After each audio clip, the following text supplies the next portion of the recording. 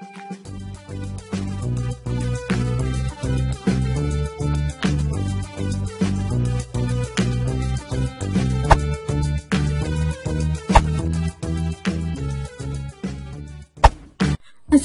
warahmatullahi wabarakatuh. Hai Sobat Youtube, welcome back to my channel. Di video kali ini saya akan membagikan tips cara untuk mengobati asam lambung yang naik ke tenggorokan atau GERD Dengan menggunakan bahan alami Tapi seperti biasa buat kalian yang belum berlangganan di channel ini Jangan lupa klik tombol subscribe, share, like, dan lonceng di bawah ini ya agar kalian mendapat pemberitahuan jika ada video bermanfaat selanjutnya. Mari kita sama-sama membangun channel ini. Pernahkah kalian mengalami atau sering merasa sakit ulu hatinya atau dari dada hingga tenggorokan merasa seperti sensasi panas yang naik?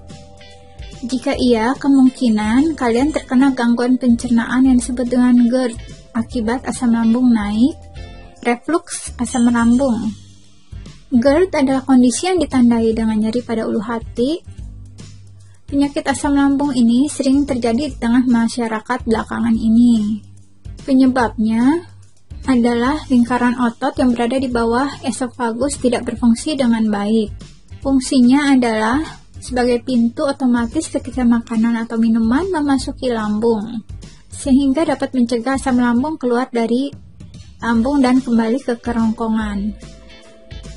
GERD biasanya menunjukkan gejala-gejala seperti tenggorokan perih, asam pada bagian mulut dan belakang mulut, makanan terasa naik dan mengganjal di kerongkongan, mual, muntah, perut kembung, batuk, suara serak, sulit menelan, nyeri dada, terutama saat berbaring di malam hari, cegukan, cara mengatasi asam lambung naik. Cara termudah untuk mengatasinya adalah dengan mengganti menu makanan. Dianjurkan mengkonsumsi makanan yang rendah lemak, tidak terlalu asin, dan tidak terlalu pedas. Selain itu, kalian bisa mencoba cara alami, yaitu dengan menggunakan lidah buaya. Caranya adalah lidah buaya kita potong kedua ujungnya, duri-durinya ini,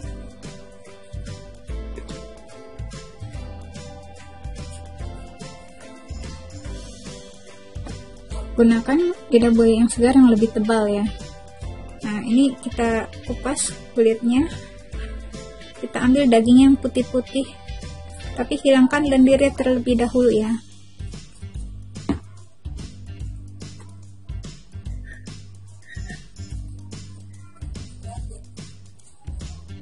Eh, seperti ini. Kalian ambil dagingnya Agar lebih mudah gunakan lidah buayanya yang segar yang tebal. Nah, hilangkan dulu cairan yang lembek-lembeknya itu, yang kentalnya. Kemudian dicuci bersih, ditiriskan, lalu direbus dengan menggunakan satu gelas air. Setelah mendidih, matikan apinya dan minum setelah dingin. Lidah buaya ini bisa meredakan inflamasi di esofagus atau di kerongkongan. Jadi sebaiknya diminum sebelum makan untuk orang yang sering mengalami reflux asam lambung. Tapi jangan kebanyakan ya, karena efek sampingnya adalah meningkatkan frekuensi buang air besar atau BAB. Kalian bisa mengkonsumsinya dua kali sehari sebelum makan jika asam lambungnya naik Kemudian cara yang kedua adalah dengan menggunakan baking powder dengan dicampur dengan air. Baking powder atau baking soda ini setengah sendok teh aja.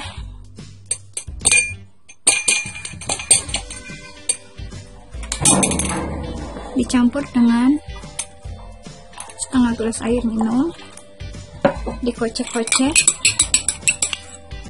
ini hangat ya airnya kemudian diminum seorang ahli kesehatan dari sekolah kedokteran di Harvard Medical School menunjukkan bahwa baking soda dicampur air ini bermanfaat untuk mengatasi akibat nyeri dada akibat asam lambung. Karena sifat basah yang dihasilkannya bisa menetralkan asam. Tapi jika asam lambung terlalu sering kambuh, tidak dianjurkan minum ini. Karena kandungan dalam minuman bisa mengakibatkan efek samping mual dan muntah. Jika asam lambungnya belum sembuh juga, disarankan agar kalian pergi ke dokter. Oke, selamat mencoba. Silakan kalian share video ini jika dirasa bermanfaat. Ikuti terus video-video saya selanjutnya. Wassalamualaikum warahmatullahi wabarakatuh.